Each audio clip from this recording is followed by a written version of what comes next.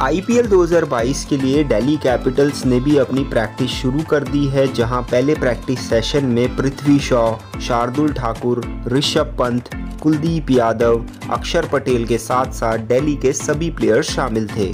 Practice के दौरान सबसे पहले बैटिंग करने आए ओपनिंग बैट्समैन पृथ्वी शॉ। पृथ्वी शॉ ने नेट्स में ज़्यादातर अटैकिंग बैटिंग की और पहली ही बॉल से अटैक करने लगे। आईपीएल 2021 में पृथ्वी शॉ ने मात्र आठ मैचों में 308 रन बनाए थे और वही फॉर्म पृथ्वी शॉ आईपीएल 2022 में भी बरकरार रखना चाहेंगे।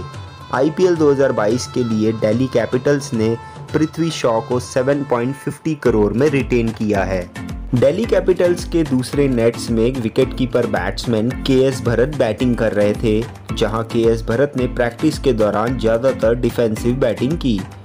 दिल्ली कैपिटल्स ने के एस भरत को आईपीएल 2022 के ऑक्शन में दो करोड़ में खरीदा है। आईपीएल 2021 में K S Bharat royal challenger Bangalore की ओर से खेलते थे और ज़्यादातर मिडल ऑर्डर्स में ही बैटिंग करते थे। आईपीएल 2022 के लिए के एस भरत दिल्ली कैपिटल्स के लिए ज़्यादातर मिडल ऑर्डर्स में ही बैटिंग करते हुए नज़र आएँगे।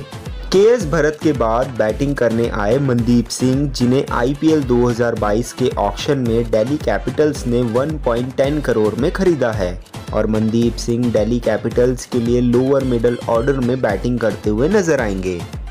इन सब के अलावा अंडर 19 प्लेयर यश धुल ने भी अपनी बैटिंग से सबको इम्प्रेस किया। दिल्ली कैपिटल्स के फ़र्स्ट प्रैक्टिस सेशन के आखिर में बैटिंग करने आए कैप्टन ऋषभ पंत। ऋषभ पंत ने पूरे प्रैक्टिस सेशन में सिर्फ़ अटैकिंग बैटिंग ही की।